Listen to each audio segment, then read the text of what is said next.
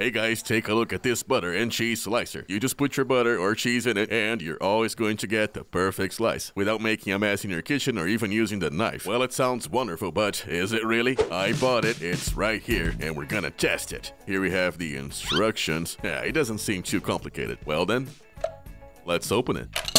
That little piece comes off. I'll cut a piece that fits in here.